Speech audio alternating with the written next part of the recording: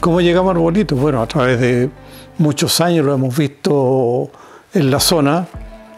Algunas veces hemos pasado a visitar las pilotos también. Seguimos por Arbolito porque ustedes tienen aquí la residencia, están en Villarrica, conocen la zona, saben cómo funcionan los sistemas y eso nos optó a, eh, a comprar esta casa.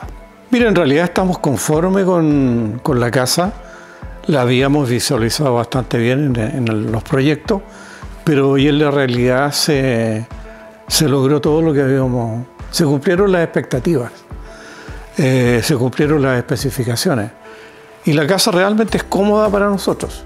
La verdad es que el acompañamiento durante el proceso de construcción fue bastante bueno.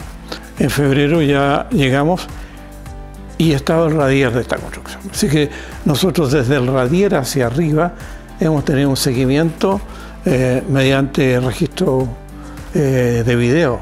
Semanalmente o cada 10 días recibíamos video del avance a través del, supervisor de Arbolito, los asesores, y íbamos viendo los avances y podíamos hacer las observaciones y, la, y las rectificaciones que eran necesarias ejecutar. Por lo tanto, nosotros nos sentimos acompañados todo el proceso constructivo, eh, desde el principio hasta el final.